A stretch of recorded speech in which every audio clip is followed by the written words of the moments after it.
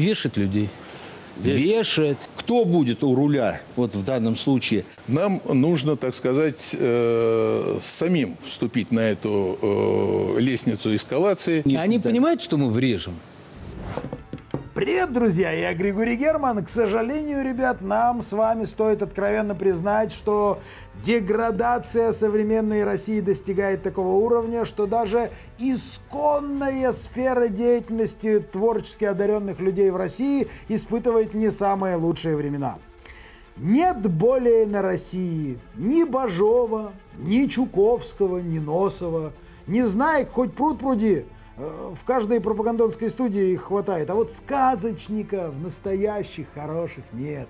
Быть может потому, что сказки, они пусть иногда и не в самой такой детской форме, но тем не менее учат детей разумному, доброму и вечному. А о чем разумном и добром мы можем говорить, когда вспоминаем современную Россию? Ну серьезно!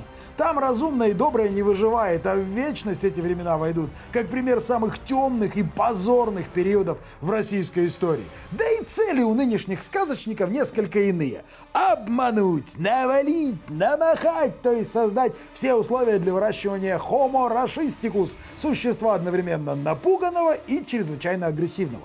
Ради вот таких вот гомункулусов и пишутся современные пропагандонские сказки, которыми каждый день расписной деревянной ложкой такой, под хохлому кормят зрителей федеральных каналов.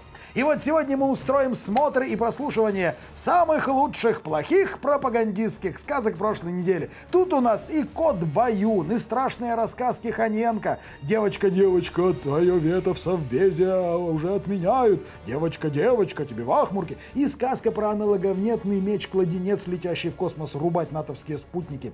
И, конечно, кровожадный Бармалей. Внимать этим и другим сказкам мы будем вместе с Игорем Рейтеровичем. А все вместе это Лучшая пропагандонская пятерка. Поехали.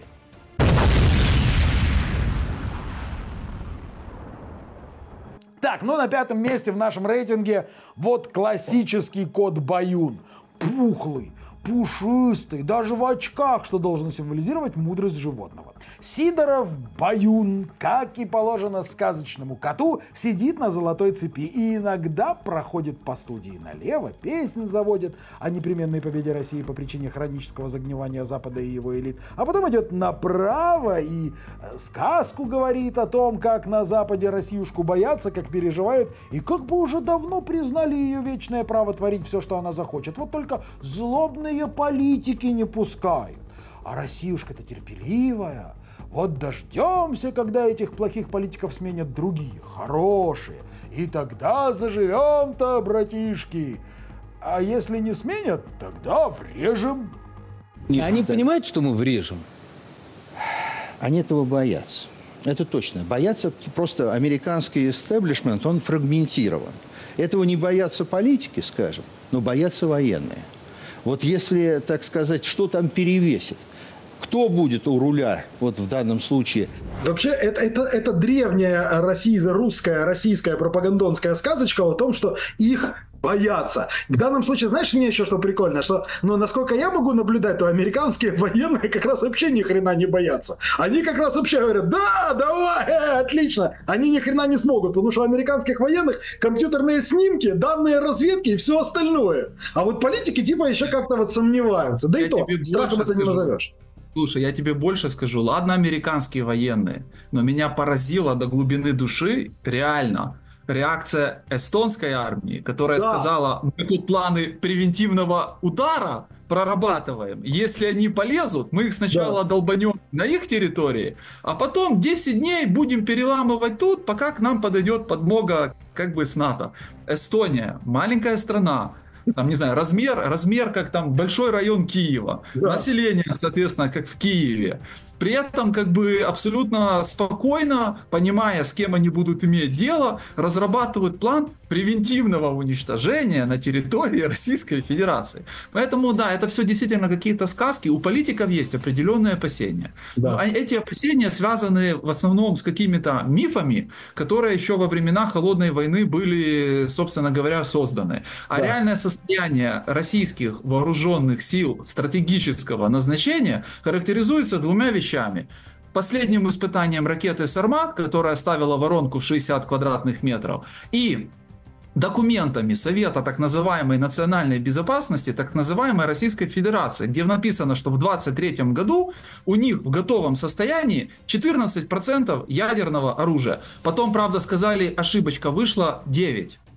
Ошиблись на пятерик. То есть, видно, кто-то там где-то накрутил. 9%, да, у них боеголовок дофига, но, в принципе, в каком они там состоянии, вообще непонятно. А американские военные, кстати, недавно сказали, что по пессимистическому сценарию они минимум там 75% всего, что будет лететь, собьют еще во время э, нахождения на территории Российской Федерации. Э, это минимум, да? А сколько там взорвется в шахтах, а сколько упадет им на головы. Поэтому не надо играть в такие игры, потому что кто-то захочет смоделировать ситуацию и показать, как это будет на самом деле.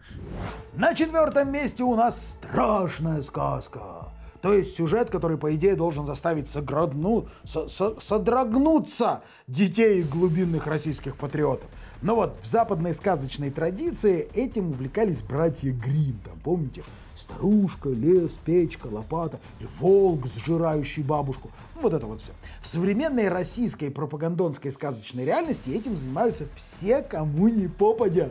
Кто-то более кровавый, как Соловушка, кто-то менее, как Хащенко, Первый ядреными бомбами разбрасывается и весь мир ядерным пеплом засыпает, а второй по лайтовее такой. Всего-то же выписывают ужасы, которые ждут Россиюшку, если ее лишат права вето в Совбезе ООН.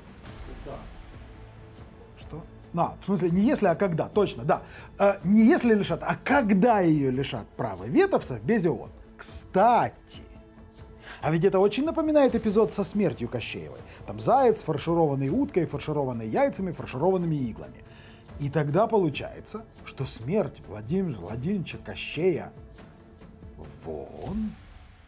Если нету права вето, они просто-напросто через Совбез ООН большинством голосов принимают самые страшные санкции против всего, а, против России – и Это весь какие? мир обязан эти санкции выполнять. Это совершенно Как другого сейчас, рода наверное, санкции. весь мир выполняет санкции ООН? Это нет с- сейчас Есть санкции ООН. Нет, Нет, санкции нет, есть. Ай, господи, супердержава, которая держится за право вето, да, и супер страшные санкции от ООН, самой куколдиской, самой бессмысленной и бесполезной организации в мире. Они даже этого боятся.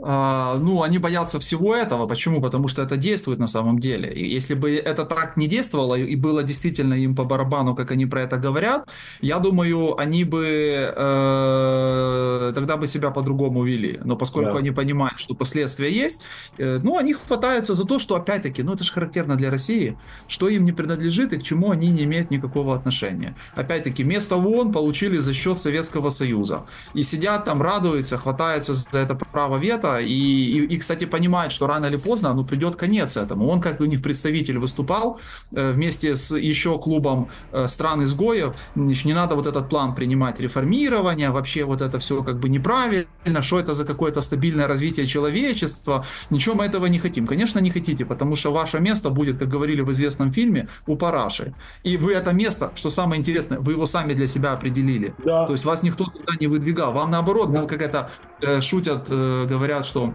Россия категорически отказывалась стоять на колени, на которые их ставили западные страны, и опять падала лицом в грязь и захлебывалась в нечистотах. То есть хотя бы уже поднять как-то с грязи, да? Э, Да. Так что в этом плане, э, ну, а- им надо откричать, они как бы откричали, но на самом деле э, лицо у Небиулиной почему-то не сильно веселое, и она почему-то про недействующие санкции не говорит, а только с каждым разом поднимает, поднимает ставочку и рассказывает, что фонд, в котором было там что-то порядка 160 или 170 миллиардов, сократился уже в 4 раза, в 4 Да. раза. И это еще год не закончился. Они уже в начале 25 года выйдут в ноль. И вот тогда никаких денег и ничего остального просто уже не будет. Тем более, что ситуация на рынках нефти для них как-то не очень позитивно складывается и вряд ли будет дальше складываться позитивно. Дальше у нас на третьем месте одна из самых любимых сказок современной российской пропаганды. Хотя... Что это я? Это, в принципе, одна из самых любимых сказок, нет, это один из самых любимых сюжетов в российском фольклоре, когда Иван-то дурак, но волею субдик к нему в руки попадает сказочный девайс какой-то, и все, уже не дурак, и жизнь удалась. Сапоги-скороходы, скатер-самобранка, печь, на которой можно ездить куда захочешь. Что там еще в российском фольклоре было, а? А, ну да, всякие там мечи-кладенцы там. Арматушка, Сарматушка, Посейдонушка ну, из той же оперы. Сказ о том, как Иван лежал на печи, а нефтяная скатерть-самобранка сама ему разносолы подкидывала, а потом встретил волшебную рыбу и хоп, в руках у дурака меч-кладенец, который сам врагов крошит и даже в космосе, превращая в обломки спутниковую группировку США.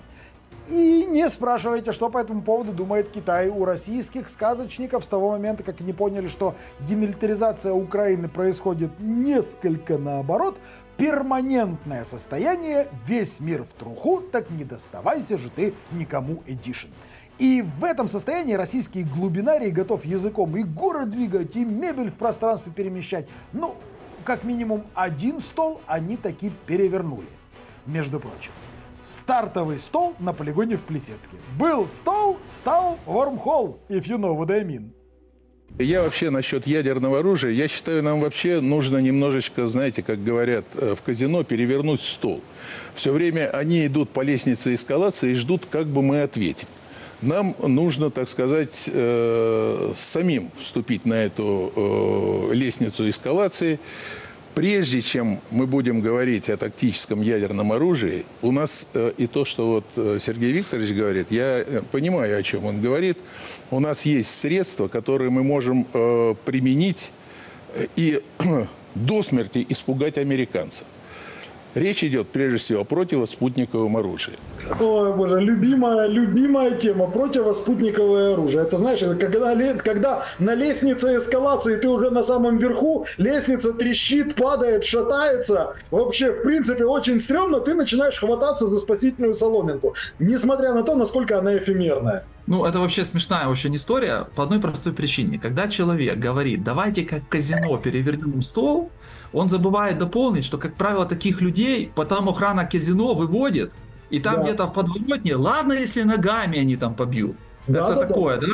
Но, как правило, эти люди заканчивают потом в тюрьме, потому что они занимаются теми вещами, которые в приличном обществе вообще-то запрещены.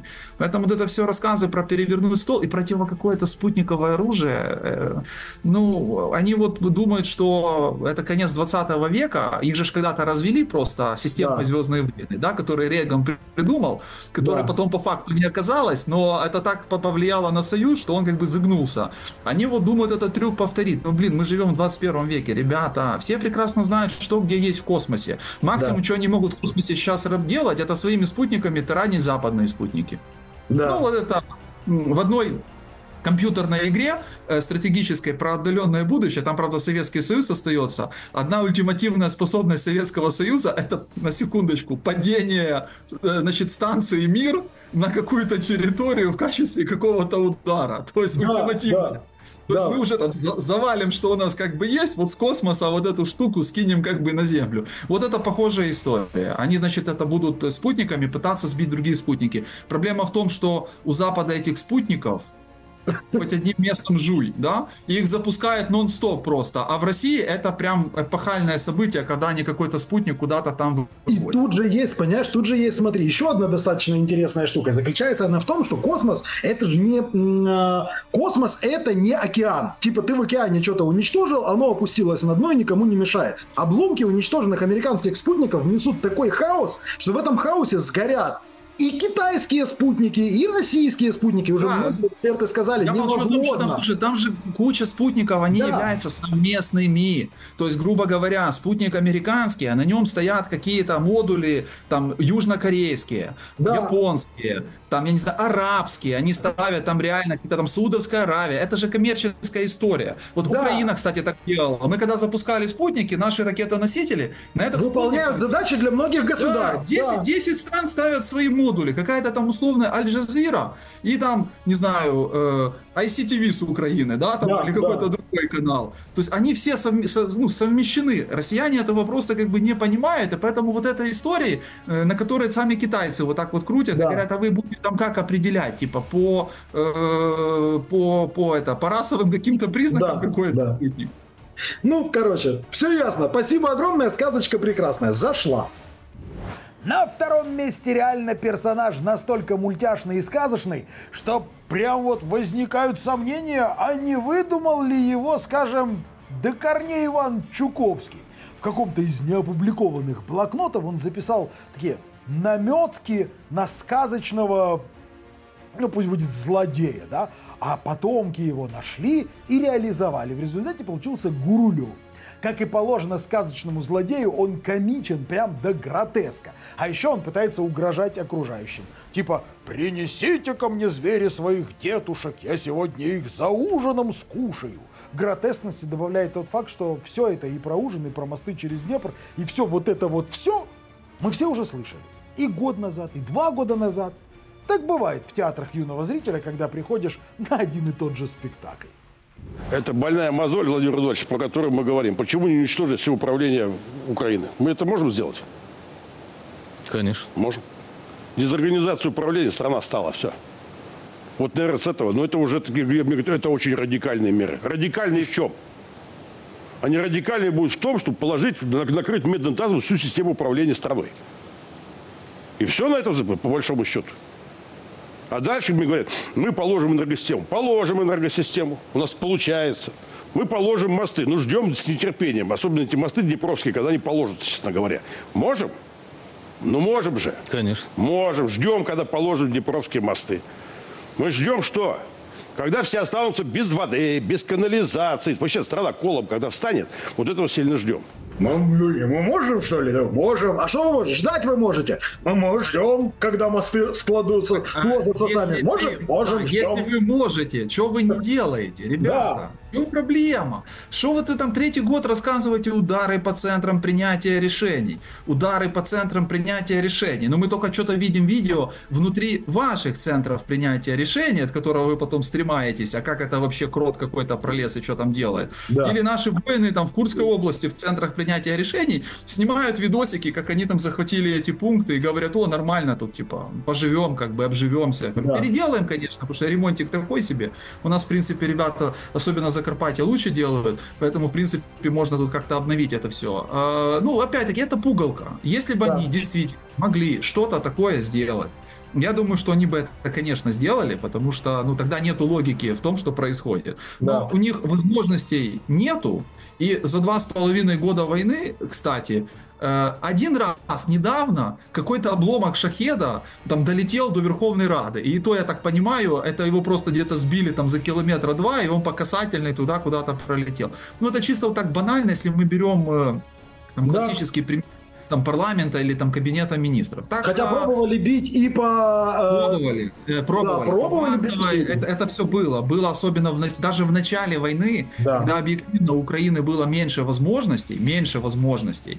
Э, у нас не было еще такого количества оружия, которое нам, значит, помогли наши партнеры. У них это тогда даже не получалось. Ну так о чем же речь может идти сейчас? То есть если бы у них такое желание и возможность была, они бы, конечно, это сделали. А так получается только есть бессильная злоба и рассказы о том, ну мы мы могем, но мы типа не могем. Да, да, типа не хотим. Ну а на первом месте нашего рейтинга пропагандистских сказок, к сожалению, вообще не сказка. А самая что есть историческая быль, которая пока облечена в форму спича одного из уважаемых и очень высокопрофессиональных городских сумасшедших. Ну а как вы думали, профессиональные нищие в этом мире есть, а профессиональных городских сумасшедших нет? Есть, конечно же. И конвенция у них есть, как у детей лейтенанта Шмидта из «Золотого теленка». Территория пропагандистских студий поделена, чтобы не смущать глубинариев. Сумасшедшая богомолка. Сразу же поняли, о ком речь, да? Малохольный сливной бачок. Тоже вопросов не возникает. Так, кровожадный психопат. Правильно, кто у нас еще любит пройтись ядерным катком по ненавистным европейским столицам, но так, чтобы окрестности озера Кома не зацепило? Вот только когда он грозит всему цивилизованному миру ржавой юлдой с характерной пиктограммой, все вокруг понимают, что он просто бредит. А вот когда он призывает расстреливать предателей, вешать предателей, ну или тех, кого он считает предателями, это, ребята, уже не бред, это уже план. Потому что до Запада они дотянуться не смогут, а вот до своих вполне. Тихо, спокойно все эти сетки надо отрабатывать и вешать людей. Вешать. Вешать. За террористическую деятельность на территории Российской Федерации нам необходимо перенять опыт братской Беларуси, с которой мы находимся в союзном государстве, где никто смертную казнь за такого рода преступления, если я правильно поменяю, не отменял. Да них особо не Попытка развязать рельсовую войну на территории Беларуси была в зародыше пересечена именно такими жесточайшими мерами. И нормально получилось. Ой, господи, вешатели мамкины. Эх. Ну, Я даже не знаю, вот, вот как тут прокомментировать, потому что, с одной стороны, это смешно наблюдать за, за вот этими всеми потугами и за всеми этими угрозами, а, а с другой стороны, ты же понимаешь, что, ну вот, в конце концов, они же в конце концов к этому придут, к сожалению. Э, ну, они придут, но они вешать-то будут своих, вот в чем дело. Да, Понимаете, да, когда, конечно. когда вы там, да. Ну, ну, что я могу здесь сказать? Ну, я, я не сильно там люблю попкорн, но ради такого случая, наверное, как бы придется запастись и за этим смотреть. Ну, Да. стра- ну, если, если сама страна, люди, которые там живут, там же остается какое-то количество адекватных людей, не понимают, что это закончится просто потом внутренними процессами, Да. ну, с чего начал Гитлер? Да? Он же потом в 1944 году вешал уже своих массово. Да. Писали у них на, гру- на- на груди таблички там предатели, потом Ой, это слушай, заговор. ночь, дли- Ой, вот это вот ну, ночь длинных ножей имеется в виду по... Не-не, он, он с этого начал, да, Да, но он да. Это, это было как бы, э, ночь длинных ножей, это еще было в позасудебный способ. Да, Ладно, да. На России такое, кстати, тоже было. Помним, Дагестан, Да, искали да, да. кого, чего там делали и так далее. Но закончил, он типа, там же был судья, который выносил эти решения Да. официально. И, кстати, правительство э, федера- уже Федеративной Республики Германия только эти решения отменило аж в 70-х годах. Да, Они да. забыли их отменить, как бы, да, они были, считались официальными. На России к этому придут. И вот э, это надо уже даже не вот этим, кто это обсуждает, потому что они же надеются, что их вешать не будут, да, а думать Да. тем, кто реально может в это попасть. А туда попадет кто угодно, кто хотя бы на йоту отойдет от того курса, который они пытаются заложить в своей стране. Ну, фух. Теперь мы с вами с полным правом можем авторитетно заявить, что мы тут были. Только не надо вот сейчас на подоконниках выцарапывать «тут был». Мы же с вами интеллигентные люди, да? Что мы тут были, что мы тут мед пиво пили, и что нам по усам текло, а в мозг, слава богу, не попало. А то были бы мы с вами как глубинарии из верхнего сучка, взгляд отсутствующий, мозг не работающий. Ну а так как я надеюсь, у нас все несколько лучше, чем я описал, до следующей недели и следующего топа лучшая пропагандистская пятерка. Парабдабдубам.